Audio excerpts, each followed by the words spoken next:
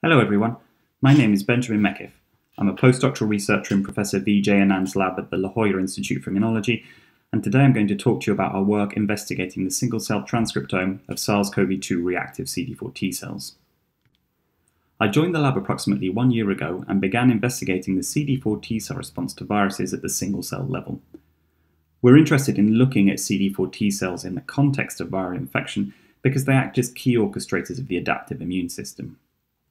They enhance development and memory formation of cytotoxic CD8 T cells and promote class switching in B cells and thus the production of high affinity antibodies. To accomplish all of these different functions, they can differentiate into a number of subsets, but today I'm mainly going to focus on the T follicular helper subset and the cytolytic subset, which I will come back to later. Virus specific CD4 T cells are present in very low frequencies in the circulation, and analysis has often been restricted to artificially expanded populations or limited to low resolution techniques. In our lab, we use an assay that enables the enrichment and isolation of virus reactive populations. We incubate white blood cells for six hours with peptide pools and thereafter sort based on expression of surface markers that indicate antigen reactivity.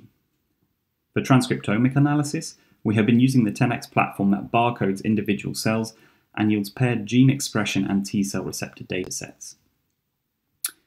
Before the COVID 19 pandemic, we were analysing the CD4 T cell response to some common viruses such as Epstein Barr virus, cytomegalovirus, and influenza.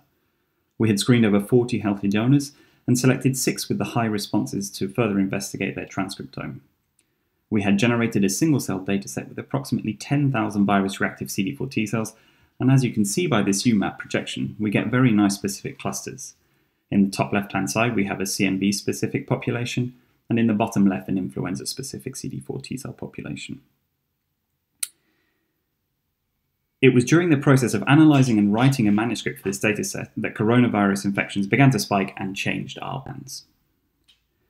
We realised we were in an ideal situation to begin analysing SARS CoV 2 specific CD4 T cells and contribute something meaningful to the literature.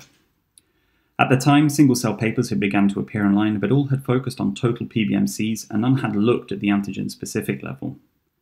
We had the technical capabilities in place to not only perform the assays, but also analyse the single cell data. We had collaborators at the University of Southampton who began collecting samples from COVID 19 patients, and we also had our bank of healthy, unexposed donors, which we could use to compare the profile of responding CD4 T cells to different viruses.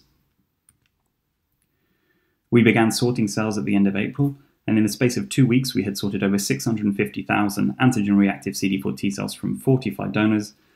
And following sequencing and extensive quality controls, we obtained a single cell dataset with over 130,000 virus reactive CD4 T cells. This is the UMAP projection of our single cell dataset, and as you can see, SARS CoV 2 reactive CD4 T cells cluster distinctly from other virus. If you imagine the projection is a dinosaur, SARS-CoV-2 specific CD4 T cells are predominantly in the head and in this section further away from the body, whereas influenza reactive cells are present in the main core. The bar plots illustrate that clusters 6, 4, 0, 7, and 12 are highly dominated by SARS-CoV-2 specific CD4 T cells, whereas clusters 1 and 10 are predominantly influenza specific. The donuts on the right show the cluster distribution for each virus, further highlighting that influenza is predominantly in clusters 1 and 10. So we know that the majority of individuals can mount an immune response to influenza, and we can see that the influenza-enriched clusters 1 and 10 have high amounts of transcripts encoding for pro-inflammatory cytokines, and thus display features suggestive of polyfunctional cells which have been associated with protective antiviral immune responses. Notably, however, these were absent from the SARS-CoV-2 and other virus-reactive populations. What we did find was that SARS-CoV-2 reactive CD4 T cells were enriched for T follicular helper cells in the head, and cytotoxic signatures in this section further away from the body. So at a first glance, it appears that CD4 T cells specific for SARS-CoV-2 do not mount a polyfunctional immune response like we see in influenza, but can provide help to B cells, thus helping with anti-production, and are also able to directly kill infected cells. First, I'll talk about the T follicular helper clusters. So TFH cells, as I'll now refer to, are the subset of CD4s that provide help to B cells, which are the antibody producing cells in your body. They provide direct co-stimulation that results in proliferation and production of high affinity antibody through diversification. The The, co-stimulatory signals from TFH-CD4s can also influence whether a B cell differentiates into a plasma cell that produces large quantities of antibodies, or whether it becomes a long-lived memory B cell. When we looked at the TFH populations clustering in the head based on disease severity comparing hospitalized and non-hospitalized patients, we noticed big differences between clusters 0 and 6. Cluster 6 appears to be dominated by cells from hospitalized individuals, whereas cluster 0 is predominantly made up of cells from non-hospitalized individuals. If we look at the frequency of T follicular helper cells in the total CD4 population, we do not see much of a difference between the two cohorts.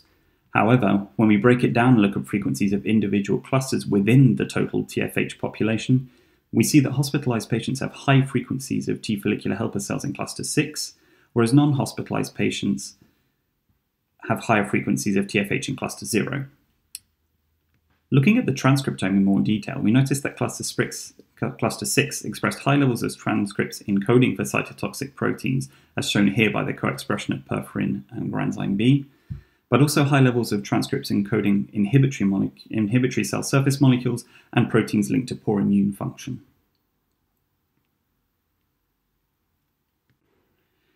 In addition to CD4 T cell data, we also had antibody titers from each donor. And as you can see, when we look at the total frequency of TFH in relation to antibody concentration, the higher the frequency of this subset, the higher the concentration of antibodies in the circulation.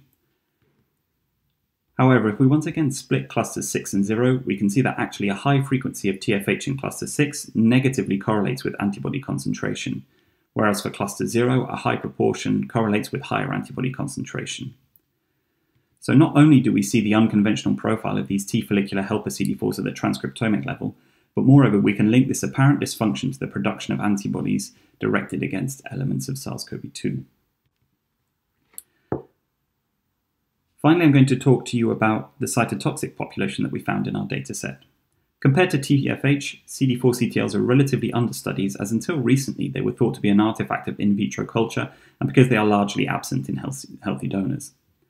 As a result, little is known about the mechanisms that govern development and maintenance. Short-lived CD4-CTL populations have been found in acute infections, along with long-lived populations in chronic infections that may arise from repeated antigen exposure. They have been shown to play protective and pathogenic roles in viral infection, and the study to date has solely focused on the expression of cytotoxic proteins. Clusters 4 and 8 are where we saw a strong cytotoxic signature, and we found that these were increased in hospitalized patients. They were characterized by high expression of transcripts encoding for cytotoxic proteins, but interestingly, we found that this population was also characterized by high expression of transcripts encoding for chemokines that will recruit other immune cells. This suggests that not only do they have the ability to lyse infected cells, but also act as key recruiters of immune cells to the site of inflammation.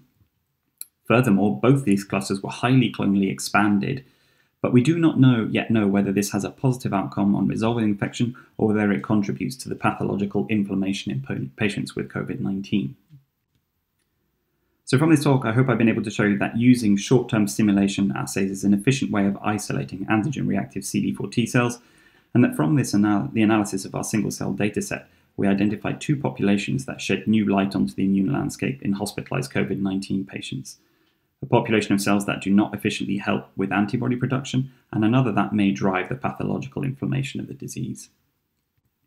With that, I'd like to thank everyone who contributed to this project, getting it written and submitted for peer review in six weeks, and that goes mainly for Ciro Vicente for the bioinformatics analysis, Anthony for help with some of the sorts, and Haley for preparing the libraries, and I'm happy to take any questions.